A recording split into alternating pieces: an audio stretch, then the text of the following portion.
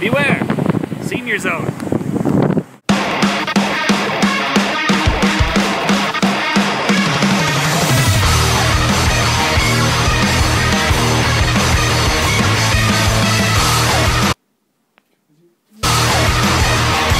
We're going to squeeze your buttocks in the most respectful way possible. Bret, I need you to look up What? Whole Foods. I will look up Whole Foods.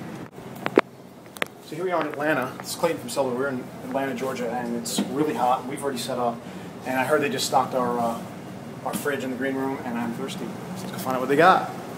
Hey, they stocked a fridge. Yeah, they did. It's a good one. Good one. What the? Dude, is that diet? Is that diet or regular? Because they know I don't. I don't drink regular.